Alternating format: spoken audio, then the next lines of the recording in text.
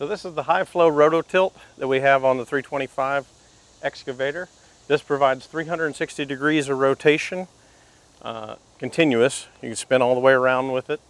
And then it also provides 40 degrees of tilt to either side of the machine, uh, which is really handy when you're working with high rail excavators, not being able to move the machine on the ground. You can turn all your work tools and position them anywhere you want on it. So this is equipped with five hydraulic connections on here. You have your high flow disconnects for your undercutters, your cold air snow blowers, your mulchers. And then we also have a medium pressure connection back here to do things like your thumbs on the bucket, like this Manus bucket. And then we also have a case drain on here for your high flow attachments like your undercutters and mulchers, things of that nature as well.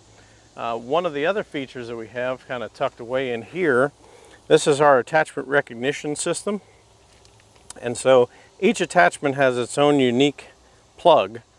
And when you take and couple the attachment to it, connect the plug, the machine automatically identifies what that work tool is, goes in, sets up the flows, the pressures, the joysticks, automatically recognizes it, and sets up the machine to be ready to go to utilize that work tool.